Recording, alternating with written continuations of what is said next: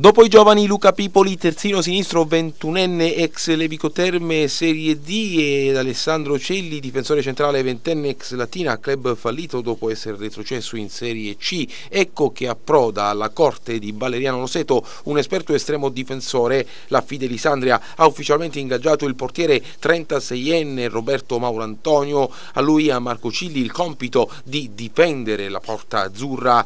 Il calciatore ex Taranto può vantare ben 100 182 presenze tra i professionisti, di cui 30 in Serie C2, 54 in Serie B e 98 nella terza categoria professionistica italiana. Con lui patron Montemurro si era accordato da diverse settimane. Intanto si è raffreddata la trattativa con il Foggia per il trasferimento in terra dauna del centrocampista classe 96 Antonio Matera.